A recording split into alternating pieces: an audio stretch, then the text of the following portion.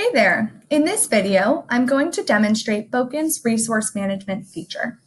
With resource management, you can manage your drivers, guides, and other resources, and then assign them to specific experiences in the booking calendar. This allows you to keep track of your resources and better manage your day-to-day -day operations. Now, to begin, we first need to create our resource. For this example, I will create a Spanish language guide for one of my walking tours.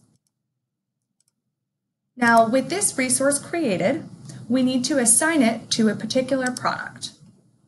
To do this, you'll navigate to the product, and then on the left-hand side, you'll scroll down to Resource. Keep in mind that a single resource can be applied to multiple products. Now in here, the cool down is the time after a tour that my guide needs to rest and prepare for the next one. For this example, we'll make it 30 minutes.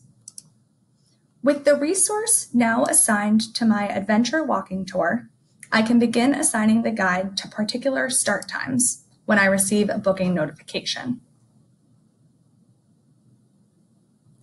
Now in the booking calendar, you'll notice that some tours will show up as yellow.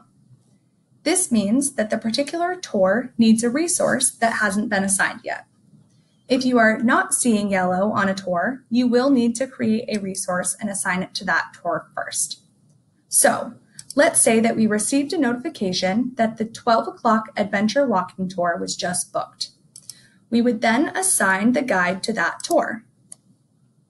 Now, because the 12 o'clock tour is three hours long, our guide will not be available for the 2 o'clock tour. If you click into the 2 p.m. start time, you can click the red X and this will block out this specific start time so that it's no longer able to be booked.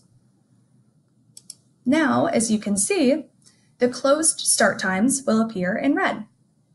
Thanks for watching. More information can be found in our help desk articles or by reaching out to our customer support team. Have a great day.